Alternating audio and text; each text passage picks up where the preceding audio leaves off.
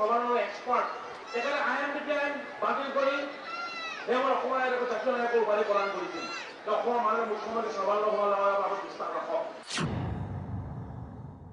মুখ্যমন্ত্ৰী সৰ্বানন্দ সোণোৱালৰ উপস্থিতিতে দেওবাৰে তিনিচুকীয়াত অনুষ্ঠিত সোণোৱাল কছাৰী ছাত্ৰ সন্থাৰ এক অনুষ্ঠানত নাগৰিকত্ব সংশোধনী বিধেয়ক সন্দৰ্ভত এই মন্তব্য কৰিছিল লাহোৱালৰ বিজেপি বিধায়ক ঋতুপৰ্ণ বৰুৱাই। তাৰ পিছতেই নাগৰিকত্ব সংশোধনী বিধেয়ক সন্দৰ্ভত এজনৰ পিছত আনজন বিজেপি বিধায়কে মুখ খুলিছে। বিধায়ক বিনোদ হাজৰিকাৰ স্পষ্ট মত বাংলাদেশীৰ পক্ষত আমি নাই। বাংলাদেশী খেদিব নোৱাৰিলে বিধায়ক হৈ নাথাকো। আমি বাংলাদেশী পক্ষত নাই আৰু আমি বাংলাদেশী আমি খেদিমেই। আজিৰ কথা নহয় এইটো। বিদেশী মুক্ত অসমৰ কথা মাননীয় মুখ্যমন্ত্ৰী সৰ্বানন্দ সোণোৱাল ডাঙৰীয়াই সদায় কৈ আহিছে।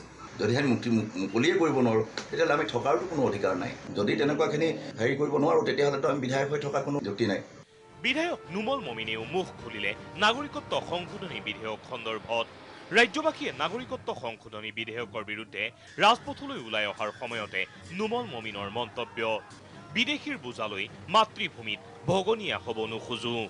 অসমৰ খিলঞ্জীয়া স্বাৰ্থৰ ক্ষেত্ৰত আমি সদায় থাকিম। কাৰণ আমিও অসমীয়া। অসমৰ ক্ষেত্ৰত যদি বুজা হয় তেতিয়াহ'লে আমি কিহৰ কাৰণে বিধায়ক হৈ আছোঁ? অসমৰ বুজাটো ল'বলৈ কাৰণে নাই নহয়। আমি অসমৰ স্বাৰ্থত কাম কৰিম।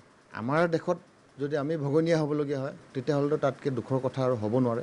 মন্ত্ৰী নৱদলীয়েও আগবঢ়ালে নাগৰিকত্ব সংশোধনী বিধেয়ক সন্দৰ্ভত প্ৰতিক্ৰিয়া। অসমৰ ক্ষতি হোৱা কাম নকৰে মুখ্যমন্ত্ৰীয়ে। মানুহৰ আৱেগ অনুভূতি জড়িত বিষয়। নিশ্চিতকৈ অসমৰ ৰাইজৰ আৱেগ অনুভূতিক শ্ৰদ্ধা জনাই মাননীয় মুখ্যমন্ত্ৰী ডাঙৰীয়াই নিশ্চয়কৈ ইয়াৰ এটা উচিত সিদ্ধান্ত অসমৰ ৰাইজৰ ক্ষতি হোৱা কাম এইখন চৰকাৰে নকৰে। কেইদিনমান পূৰ্বে ডি ৱাই থ্ৰী ছিক্স ফাইভৰ কেমেৰাৰ সন্মুখত এক বিস্ফোৰণ ঘটাইছিল। বিধায়ক সুৰেন ফুকনে।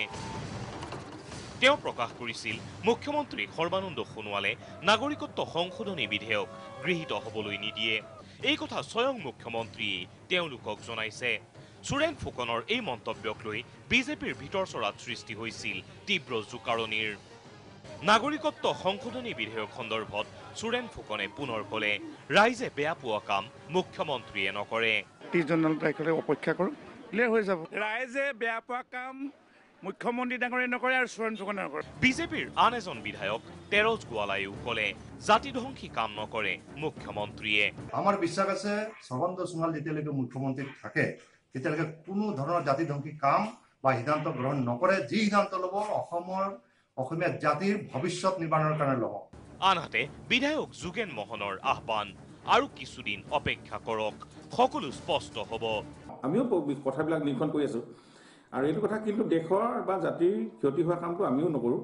আমিতো অসম আন্দোলনত নিজে আন্দোলন কৰা মানুহ। অসমৰ ৰাইজে প্ৰতিবাদ কৰিলেতো এইটো অসমৰ ৰাইজক আওকাণ কৰিতো কোনো ধৰণৰ আইন নচলিব। গতিকে আমি কথাবিলাক আমি স্পষ্ট হ'ব খুব বেছি এমাহৰ ভিতৰত। বিধায়ক গণেশ লিম্বু দেৱানন্দ হাজৰিকাৰো ৰাজ্যবাসীলৈ আহ্বান। মুখ্যমন্ত্ৰীৰ ওপৰত বিশ্বাস ৰাখক। সৰ্বানন্দ সোণোৱালৰ ওপৰত ৰাইজে বিশ্বাস আস্থা ৰখা উচিত আৰু কিছু ধৈৰ্য ধৰা উচিত।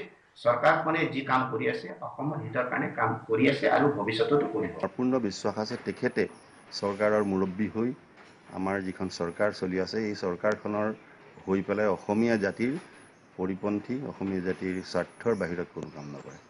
কিন্তু তাৎপৰ্যপূৰ্ণভাৱে এজনৰ পিছত আনজন বিজেপি বিধায়কে নাগৰিকত্ব সংশোধনী বিধেয়ক সন্দৰ্ভত মুকলিভাৱে মত প্ৰকাশ কৰাৰ বিপৰীতে এই ক্ষেত্ৰত কৌশলী স্থিতি গ্ৰহণ কৰিছে মন্ত্ৰী তপন গগৈয়ে। এসময়ত সাধাৰণ সম্পাদক হিচাপে আচুক নেতৃত্ব দি অসম চুক্তি ৰূপায়ণৰ দাবী তোলা আৰু পৰৱৰ্তী সময়ত বিজেপিত যোগদান কৰি সম্প্ৰতি সোণোৱাল মন্ত্ৰীসভাত স্থান লাভ কৰা তপন গগৈয়ে ক'লে দলৰ স্থিতিয়েই আমাৰো স্থিতি। ইতিমধ্যে দল আৰু চৰকাৰৰ তৰফৰ পৰা স্থিতি স্পষ্ট কৰিছে সেইটো আমাৰ স্থিতি। Bureau report D Y three six five.